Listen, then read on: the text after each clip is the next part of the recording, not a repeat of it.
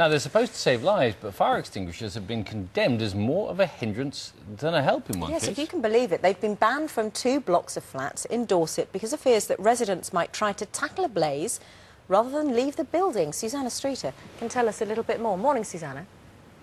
Hello, yes, you see them everywhere, don't you? In shops and offices, restaurants and bars. But would you know which one of these would put out a rubbish bin fire? Well, so few of us have had training in how to use an extinguisher that these are being removed from some blocks of flats because firefighters say they could be a fire hazard. They're considered to be life-saving equipment, but residents at these flats are trying to stop their extinguishers being removed.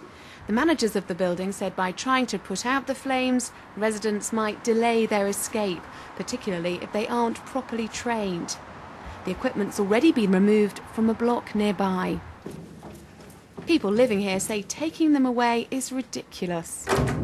I'm of the belief that if it could save a life, I mean, bearing in mind that the fire brigade might be taking uh, two or three minutes or perhaps five minutes to get here, and if somebody can whip a fire extinguisher off the wall and fight a fire and maybe save a life, then surely that's got to be um, a good cause for keeping them. Dorset Fire and Rescue have backed the decision to remove the extinguishers. If a fire is growing, it's producing toxic smoke, that's going to be contained within a room and the level of that is going to be coming down. So persons trying to put a growing fire out with portable fire extinguishers with limited capacity will be putting themselves in danger.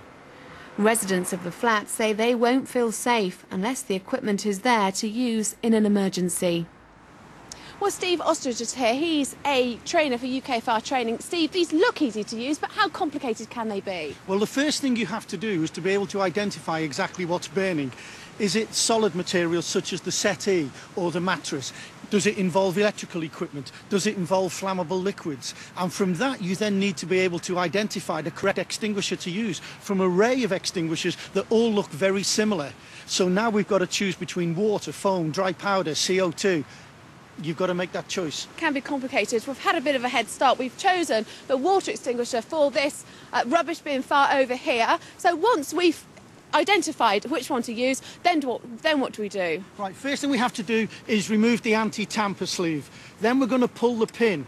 We need then to aim the nozzle at the base of the fire and squeeze these levers tightly together. Okay, you hold this and I'll try and do it. So I pull off this, take out that, like that, and then Yeah. that's We can like squeeze that. that in. Okay, well I've actually Yeah. put it out. That's quite good.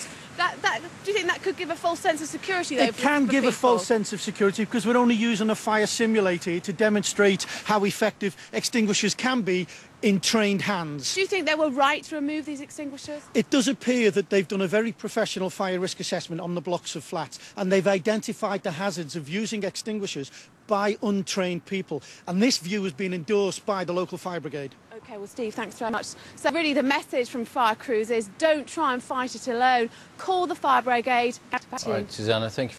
It is a big idea, a new world order. In the near future, Earth is dominated by a powerful world government. It's known as the Bilderberg Group. Could their objective be world domination? For thousands of years, their dark order grew.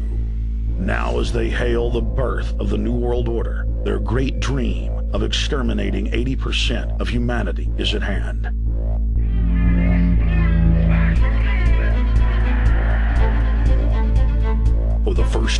History, the elite's plan for world government is blown wide open. You will learn the secret that drives the entire New World Order agenda.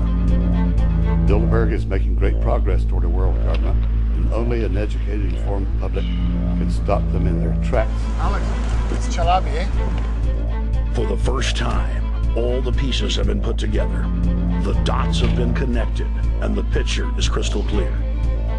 Earth's ruling elite believe they have discovered the fountain of youth. But before they can attain it, 80% of us must die. A psychopathic technocracy is establishing world government so there can be no escape from their plan.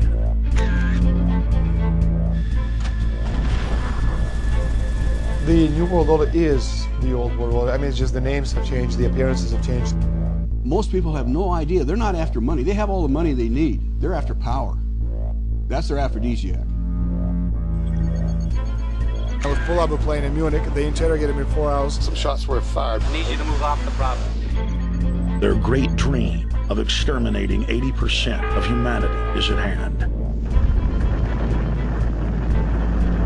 Endgame, blueprint for global enslavement. You have been warned.